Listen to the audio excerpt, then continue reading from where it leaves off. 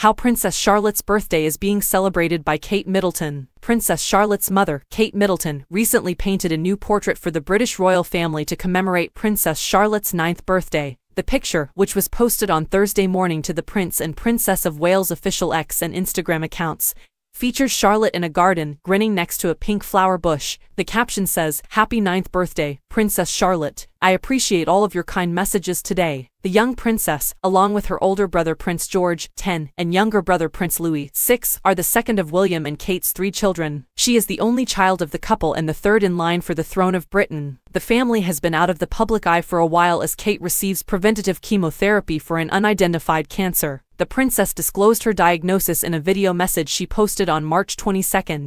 The diagnosis came after an intended abdominal surgery. In the video, Kate stated, We hope that you will understand that, as a family, we now need some time, space, and privacy while I complete my treatment. The royal couple has continued to post on social media in recent weeks, sharing several intimate photos. To commemorate their 13th anniversary, William and Kate released a never-before-seen photo from their wedding, which was taken by Millie Pilkington, on Monday. On April 23, the couple celebrated Louis's sixth birthday by sharing a portrait of him that was also taken by Kate. Since Kate is a well-known enthusiast of photography, many of the pictures used in royal communications about her family are taken by her. William took a Mother's Day picture, but it was removed from several prestigious photo agencies in March due to allegations that it had been digitally altered. In a statement on March 11, Kate said, Like many amateur photographers, I do occasionally experiment with editing. I wanted to apologize for any misunderstanding that may have arisen from the family photo we shared yesterday.